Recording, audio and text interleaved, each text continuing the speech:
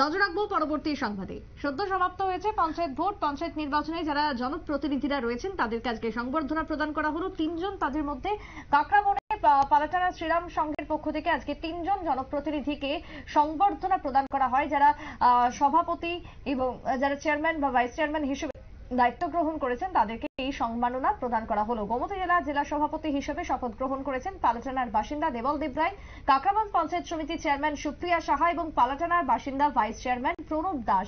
এই তিনজনকেই আজকে দেওয়া হলো সংবর্ধনা। শ্রীরাম সংঘের পক্ষ থেকে সংবর্ধনা প্রদান। কি বক্তব্য উঠে এসেছে দেবল দেবরায়ের? শুনুন। আমি চেষ্টা করব।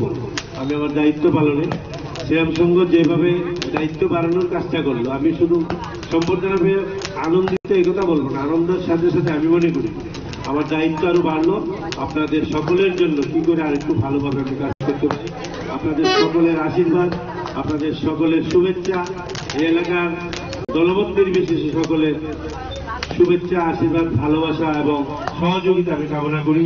যাতে করে গোমতী জেলার শুধু এলাকার নামে গোমতী জেলার প্রত্যেকটা পঞ্চায়েতের কাজে অংশীদার হতে পারে এবং প্রত্যেকটা পঞ্চায়েত যাতে আমার কাজে সন্তুষ্ট হয়, সে ব্যাপারে আপনার- আপনাদের সাহায্য, আপনাদের ভালোবাসা, আপনাদের সহযোগিতা আমি কামনা করি। আমি আজকের অনুষ্ঠানটা আপনারা শুনলেন দেবল রায়ের বক্তব্য। আজকে সংবর্ধনা প্রদান করা হলো। তারা খুশি যারা সংবর্ধনা আজকে পেয়েছেন, তবে তারই সঙ্গে আজকের এই অনুষ্ঠানকে কেন্দ্র করে এলাকা জুড়ে ব্যাপক সারা পরিলক্ষিত হয়। ছোট্ট একটা বিরতির পর ফিরে আসব। সঙ্গে থাকুন।